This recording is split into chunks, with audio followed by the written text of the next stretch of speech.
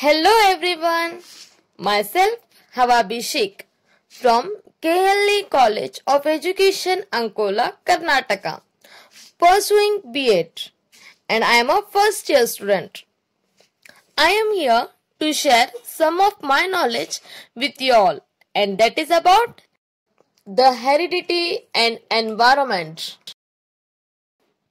Now firstly let's talk about what is heredity.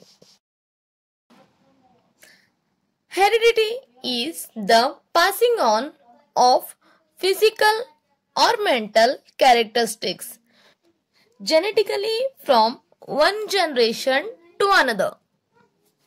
Now let's talk about the role of heredity on an individual.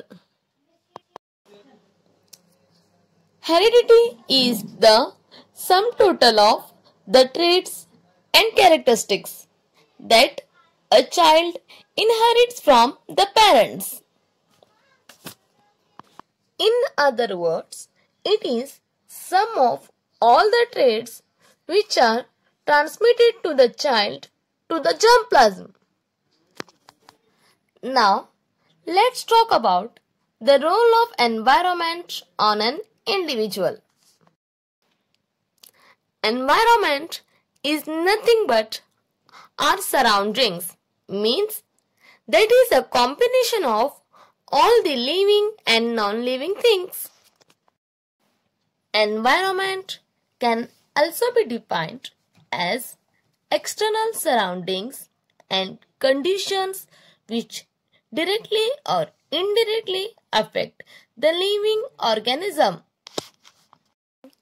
Now, we will talk about social and cultural environment. It is constituted by family, schools, and social relationships. Intellectual or mental environment. It means all those mental situations which may affect mind or brain. They are books, library, radio, etc.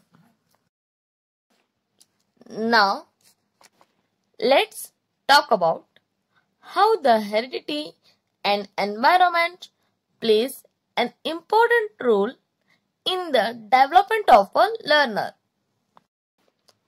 Knowledge of heredity and environment helps the teacher to know the varying needs and abilities of the children. It helps to provide guidance to his children in the field of education, vocational and personal.